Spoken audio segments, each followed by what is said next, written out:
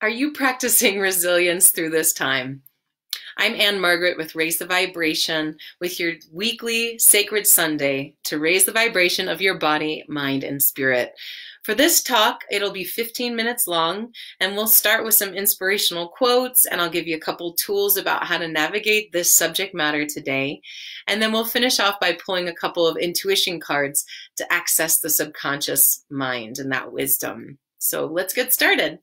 Uh, so I wanted to start with just a, a couple quotes. We we're going through a time right now where it feels almost like this constant victimization of having to stay home, having to stay separate from each other, not having our typical creature comforts that we've really grown accustomed to and associate with our normalcy.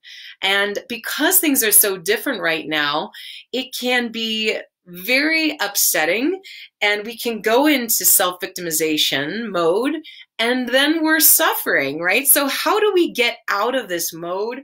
How do we harness our own resilience? And how do we do that not only for ourselves, but for our home, our families? Because if we do have kids at home, those kids are really watching during this time to see how we're handling things. So, let's start with a couple quotes. Uh, there is a beautiful quote by Steve Maraboli that says, Life doesn't get easier, we just get stronger or more resilient. This is a very profound quote because life is full of challenging disappointments. We usually have this addiction of wanting things to get better or easier or more comfortable or less struggle in life, less pain. But the truth is, is that life will always present things that are unpredictable. Life will always present things that are challenging in our lives. So it's not about it getting easier. Oh, I just wish things could get easier.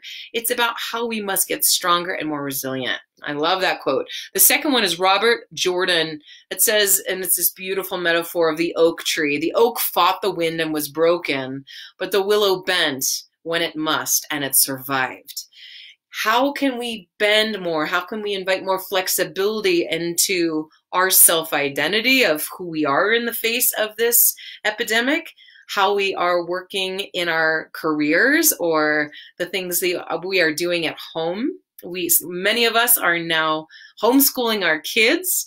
So how can we bend with this and be flexible rather than rigid with our shoulds and our shouldn'ts? This shouldn't be happening. That leader shouldn't be handling things in this way. We can all have our preferences and opinions. I'm not saying that. But how are they serving you or how are they absolutely destroying your peace of mind very important to remember. Another one, which I, I love, is J.K. Rowling. Such a beautiful inspiration that says, Rock bottom became the solid foundation on which I rebuilt my life. A lot of us are facing what we feel like is rock bottom right now. We don't have certainty in our jobs. We might not have certainty in our relationships. We might not feel like we have certainty in being in our homes or whatever it is rock bottom is sometimes the best gift that we're given in order to build a very strong foundation for this empire of our lives.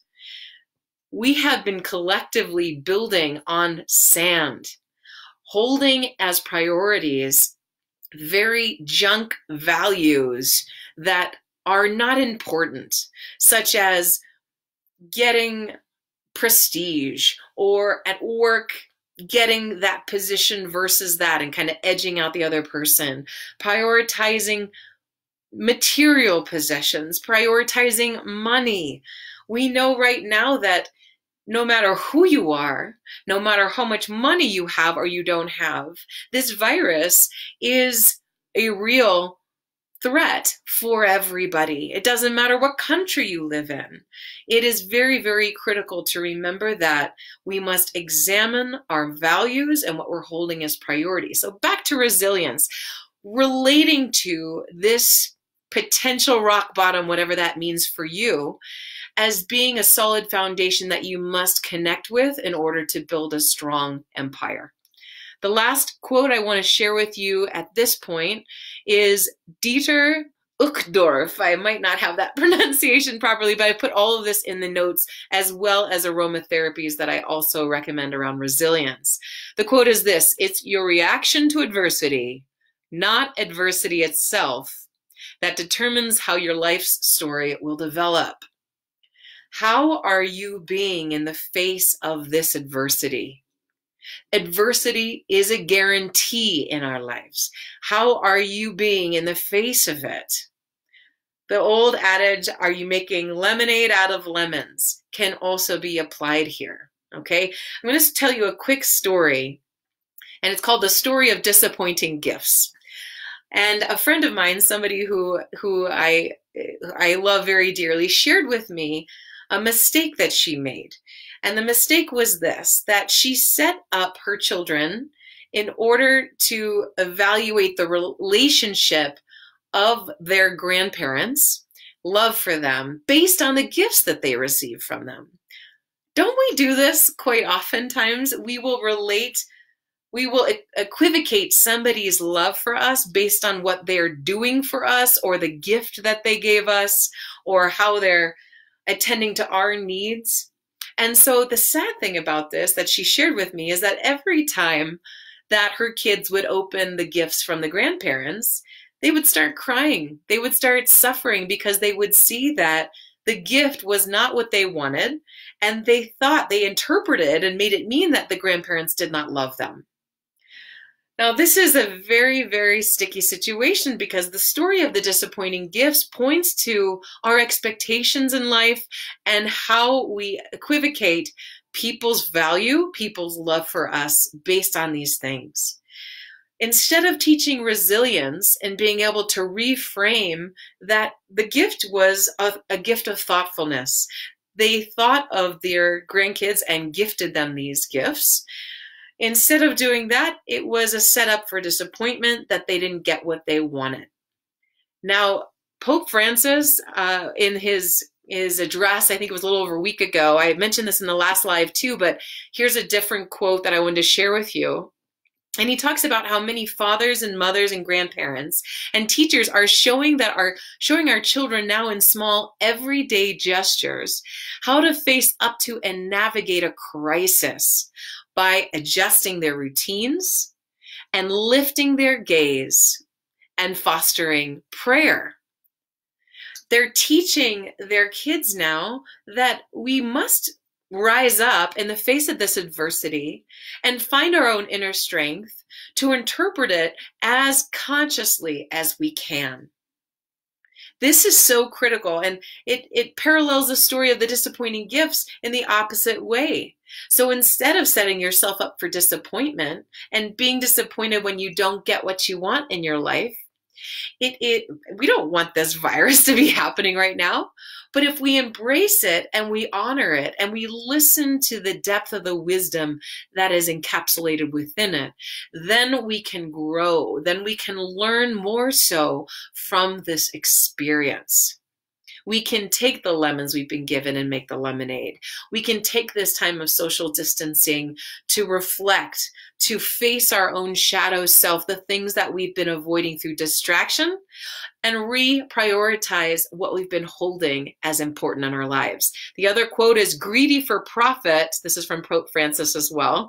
He's such an awesome leader, especially right now, his beautiful, beautiful, beautiful teachings. Greedy for profit. We let ourselves get caught up in things and be lured away by haste. And he talks about we were not shaken awake by the wars that are happening right now. We weren't shaken awake by the injustices that we see daily across the world, nor did we listen to the cry of the poor and of our ailing planet. It took this virus to make us all press the pause button, step back, and say, hold on, what's going on? A lot of us are doing this begrudgingly, but yet there are a lot of us, including so many who did a conscious mass meditation last night across the planet, that are recognizing the sacredness and the opportunity of this time. If we were not woken up and awoken by the crises that are every day happening across our planet, now is the time. Now is the time to awaken. So these beautiful, beautiful reminders of the quotes that we've been given are so crucial. Remember the story of the disappointing gifts because we all do it. We all set ourselves up to be disappointed by projecting someone's value in your life or projecting their reality on to them rather than listening or consciously interpreting through choosing conscious filters. So I want you right now, before we pull our cards, to think about something in your life that you feel like you've been kicked down by. And across religions, Confucius in Japanese uh, proverbs also say things like, fall down seven times, get up eight. I mean, it's very, very much a human dynamic to feel beaten, to feel knocked down, but it is so crucial of how we get back up. So I want you to think about something in your life where you're lacking resist resilience now. You're not lacking resistance. You're putting up your dukes. You're fighting, fighting, fighting. You are really allowing yourself to go under the wave of disappointment, of victimization, of suffering, and you are forgetting how powerful you are. Got it? You've got that area in your life? Now, what could be the blessing? How could you see this in a different way? To interpret it in a different way, to allow yourself to be empowered by what's happening. What is this adversity in your life giving you an opportunity to do or to be a different way, a different thing than you've done or you've been before. What's the trap, the cyclical trap you catch yourself in? Maybe it's a person in your life that you're always fighting with, you're always annoyed by. How can you take responsibility for your filter? This helps us so much. It helps me so much. How can I take responsibility for the own filter that I'm looking through at them or listening through to them, how can I change that? This is just the way that they show their love. Or are you trying to buy milk at a hardware store? Check another life for that teaching. What are your expectations? Can you appreciate what it is they are offering? Can we appreciate what it is this virus is offering us right now? This opportunity to reevaluate everything, to come together in different ways to drop the resentments, to drop, to heal the anger, to heal the grief. Okay? All right, let's pick our cards. So, around resilience, what are the teachings from our unconscious mind? And these are simply subconscious cards, they're intuition cards that help us understand a deeper knowing. And if you want to work one on one with me, I'm doing sliding scale coaching one on one for you or for couples counseling if you're struggling with your partner at this time or your roommate. That's all in the notes. And then also we have online yoga and personal training classes and workshops, even like partner yoga and partner massage, all sliding scale. Go to our website, raisevibration.com. Also women, we've got a women's circle coming up. I think it's on April 24th. I don't know. Check the notes. Okay, let's see what we pulled. Ooh, femme fatale. Let's see what this says. The light attributes are highlights the erotic energy of the feminine, opens your heart when your dependency is rejected. The shadow attributes is the inappropriate use of sensuality and our attachment to money and power. Drum roll, right there it is. So, femme fatale archetype reminds us that we must harness the feminine right now. We must be that center of frequency to attract what it is we want in our lives, to come at a softness of the mother or that feminine energy, and be very aware that we are not trying to use our sexuality to entrap others or our addiction to money and power. Oof, that's a powerful one for today. All right, let's pull a goddess card next. So, around resilience. Let's see what this is. And this week, I want you to really focus on your resilience, be accountable for it, and see how things shift for you this week. Ooh, Sige. Sige is a beautiful card. Quiet time. She says, take some time, quiet time alone to rest, meditate, and contemplate. If there were any card that we would pull for this time, this is a great one. All right. You guys, thank you so much for joining me. If you feel like someone else would benefit from this, feel free to share this publicly. And until next time, just remember to keep raising the vibration. Bye, everybody. Love you.